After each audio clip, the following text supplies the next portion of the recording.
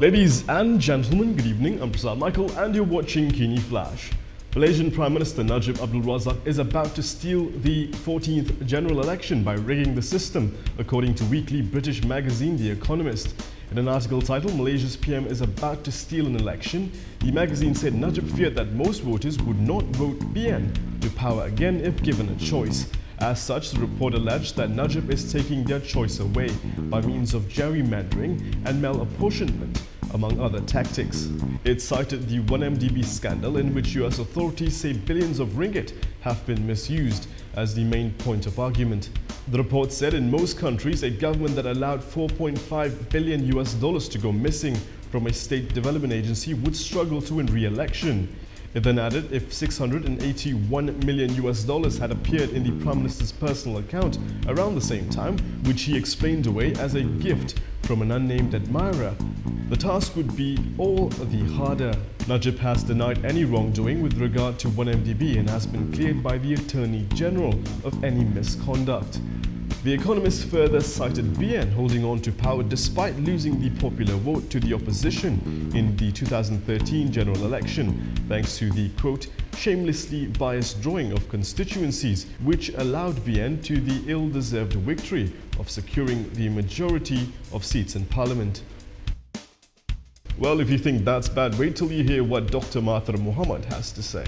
Saya yakin kalau Najib menang pilihan raya yang ke-14 ini itulah pilihan yang ter pilihan raya yang terakhir karena dia akan hapuskan semua sistem pemilihan kita dengar ada negara-negara yang mana pemimpinnya menungkap perlembagaan supaya boleh jadi Perdana Menteri ataupun Presiden selama-lamanya. Ya, kalau dia dapat dua per tiga, dia boleh tukar perlembagaan dan mengekalkan Datuk Sri Najib. The Register of Societies has yet to process the registration of the opposition coalition Pakatan Harapan. This is because the ROS probe into Bersatu on the status of its annual general meeting that has been opposed by several party members is still ongoing. Kenal dengan status pendaftaran Pakatan Harapan. So antara antara alasan yang uh, uh, diberikan oleh AWS dulu kata bahawa Pakatan Harapan tak boleh diluruskan kerana ada masalah dengan DAP dan juga Bersatu. DAP dah selesai, tak ada apa-apa. Cuma jawapan daripada pihak AWS dia kata isu uh, dengan pihak uh, PBBM Bersatu masih belum selesai. Masih dalam siasatan, maka uh, pendaftaran Pakatan Harapan tak boleh lagi diproses. Veteran politician Sanusi Junid died this morning. He was 75 years old. Sanusi served as National and Rural Development Minister in 1981 and as Agriculture Minister in 1986 before being appointed Kedah Menteri Besar from 1996 to 1999 during Dr. Mahathir Mohamad's era. Mahathir paid his last respects to the veteran politician at the Saidina Umar Mosque in Bukit Damansara earlier today.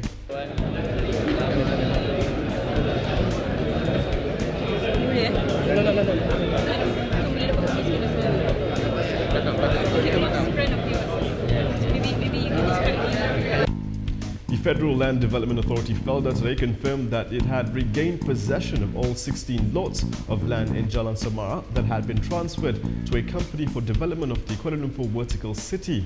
The issue over the ownership of the Felda land erupted last December after a local newspaper revealed that Felda was at risk of losing its land valued at 270 million ringgit for the development of KLVC through a dubious transaction. It was reported last month that Felda would regain possession of the land from the company without cost. Tourism and Culture Minister Nazri Abdul Aziz may be proud of his gangster reputation, but there is a side of him that's not as menacing, especially his relationship with Penang Chief Minister Lim Guan Eng. Huh? because, you know, I'm straight. Okay, there's nothing to be uh, afraid of. Probably some people might you hug somebody yeah, and then say, hey, hey. I got no problem. And I said, I assure you, it's not romantic at all. It is democratic.